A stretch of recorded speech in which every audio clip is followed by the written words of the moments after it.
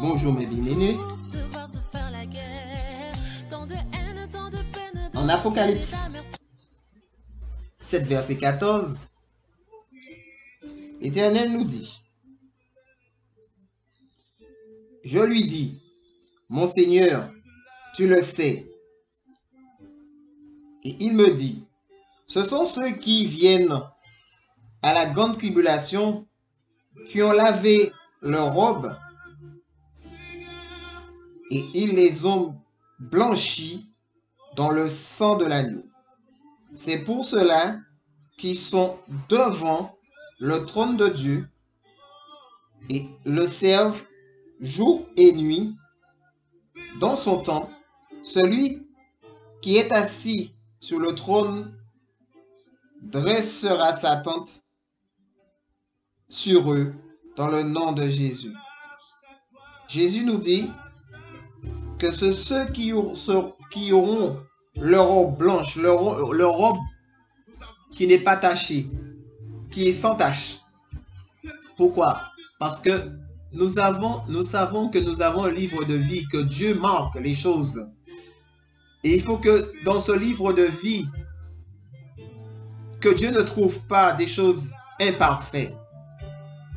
Que tout soit lavé par le sang de l'agneau. Que nous puissions justement venir dans ce sang et demander pardon à Dieu pour nous laver, nous purifier, nous mettre blancs devant l'Éternel, pour que le jour que le retour de notre Seigneur viendra, pour que nous puissions partir et que nous restons pas. C'est ce que Dieu souhaite pour nous. Que le nom de l'Éternel soit glorifié, magnifié Nous prenons la parole dans Éphésiens. Amen. Que le nom de l'Éternel soit glorifié. Éphésiens 5, verset 27.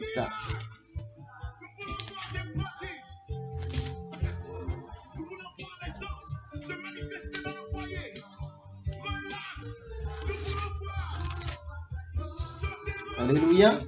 La parole nous dit, afin de faire paraître devant lui cette église glorieuse. Nous sommes l'église de Dieu et que cette église soit glorieuse, sans tache, ni ride, ni rien de semblable, mais cette irrépréhensible.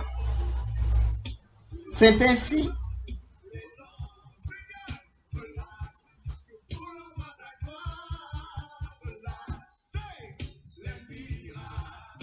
C'est ainsi que nous devons être. Que nous devons être irrépréhensibles devant Dieu. Que nous ayons, que nous soyons sans tache, sans ride, que rien ne vienne tâcher. Que nous soyons lavés par le sang de l'agneau, comme je disais, pour la gloire de son Saint-Nom. Amen. Mais je vous dis une chose. Voici une bonne nouvelle et que, nous, que je l'ai déjà dite. Que Jésus-Christ est venu nous avons quelqu'un qui est venu. Et c'est cette personne que je veux constamment parler. C'est de Jésus-Christ de Nazareth, celui qui est venu dans ce monde. Il est entré en jeu. Il est venu pour effacer, pour briser, pour détruire, pour anéantir tout ce qui nous empêchait de voir la face de Dieu et être en communion avec Dieu. Parce qu'il il est parfait, contrairement à nous. Et il n'a pas enfreint aucune loi de Dieu. Il a observé toutes les lois de Dieu. C'est pourquoi son casier, son, son, livre de vie est vide et net et sans tache, sans ride, il est parfait, absolu, dans le nom de Jésus. Alors, imaginons que Jésus nous dit que nous soyons semblables à lui. Si Jésus-Christ est parfait, eh bien, il veut aujourd'hui que nous soyons dans cette dynamique. C'est vrai que c'est difficile que l'homme soit parfait, que nous n'ayons pas des écarts. Mais Dieu, dans son grand amour, est capable. Il nous dit de nous détourner de tout ce qui nous éloignerait de sa présence. Restons dans la présence de Dieu. Laissons-nous vraiment toucher par l'Esprit de Dieu, envahir par Dieu dans le nom de Jésus et que dans le nom de l'Éternel soit glorifié. Nous savons que nous devons nous détourner de toutes choses mauvaises et demander pardon à Dieu. La première chose à faire, c'est demander pardon à Dieu, de nous humilier devant Dieu, de dire à Seigneur, de, parler vraiment à cœur ouvert avec notre papa, avec notre Seigneur, avec notre Créateur, de lui dire ce que nous avons qui nous empêche vraiment d'être en communion avec lui, qui nous éloigne de sa présence. Soyons vrais, soyons vrais, et que nous soyons des hommes et des femmes franches devant l'éternel, que nous avons Dieu, il nous a créé à son minage, à sa, ressemblance, il nous demande juste de mettre en pratique ces commandements, les, commandements qu'il nous a donnés dès le départ, dès, la création, de génération en génération. Et aujourd'hui, nous n'observons pas, jusqu'à maintenant, nous n'observons pas ce que Dieu nous a demandé.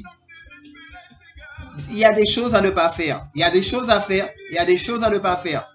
Et Dieu nous le dit. Il nous le répète à, à plusieurs reprises. Nous n'allons pas dire au jour qui viendra que nous ne connaissions pas, que nous ne savions pas. Parce que Dieu nous a envoyé ses serviteurs, Dieu nous a envoyé ses prophètes, Dieu nous a envoyé, Dieu nous avertit sans cesse, Dieu nous parle sans cesse. Mais nous ne prendons point garde à la voix de l'Éternel. Mais le jour du malheur,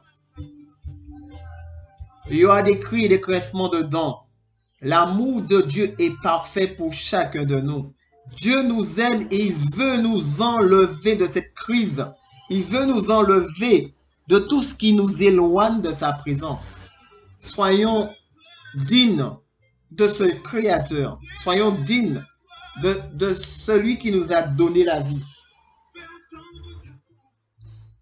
Et la deuxième chose à faire, c'est de nous confier à Jésus. Confier totalement à Jésus. De nous laisser envahir de Jésus-Christ de Nazareth. Je vous invite à laisser vraiment Jésus agir dans votre vie.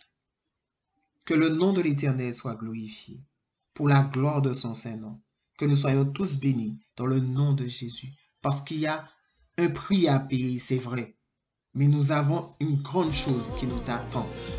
Une vie éternelle auprès de Jésus-Christ de Nazareth. À louer Dieu toute notre vie à glorifier l'Éternel. Voyez cette, scène. Voyons-nous là, en train de glorifier, magnifier l'Éternel, applaudir l'Éternel, qu'il n'y ait pas de soucis, qu'il n'y ait pas de problème, qu'il n'y ait pas de situation, que tu, n'auras pas à de ce que tu vas manger ou boire, mais que tu seras dans la glorieuse gloire de Dieu. Imagine-toi cette vie, que le nom de l'Éternel soit glorifié pour la gloire de son Seigneur. Amen.